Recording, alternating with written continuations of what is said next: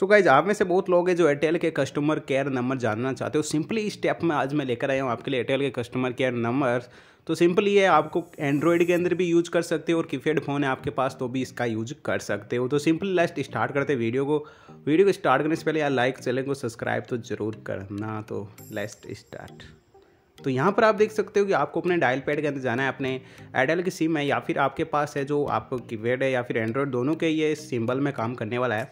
तो लास्ट यहाँ पर आपको डायल करना है। वन टू वन यानी कि एक सौ इक्कीस पर आपको कॉल करना है। तो मैं यहाँ पर सिंपल डायल करके दिखा देता हूँ। कॉल करके भी मैं आपको दिखाने वाला हूँ कि कैसे कॉल होगी कौन कौन से आपको नंबर टाइप करने हैं। तो लेस्ट यहाँ पर आप देख सकते हो वन टू वन आपको डायल करना है अपने एयरटेल नंबरों से ही कॉल करना है अदरवाइज़ से ये कोई सक्रिय एक्टिव नहीं दिखाएगा।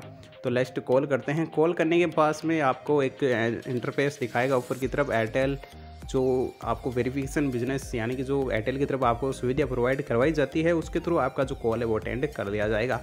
तो लास्ट यहाँ पर आपको पूछा जाएगा हिंदी इंग्लिश के लैंग्वेज के बारे में, फिर आपको पूछा जाएगा कि आप यहाँ पर कौन सी कैटेगरी को चॉइस करना चाहते हो, कौन सी आपको दिक्कत है, कौन सी आपके प्रॉब्लम है, वहाँ का आपको डायल करना है प्रेस करने हैं कुछ नंबर्स उसके बाद में आप कस्टमर केयर से बात कर सकते हो, अपनी दुविधा को सुविधा में बदल सकते हो। तो last thank you to watching this video and की सपोर्ट एंड keep like.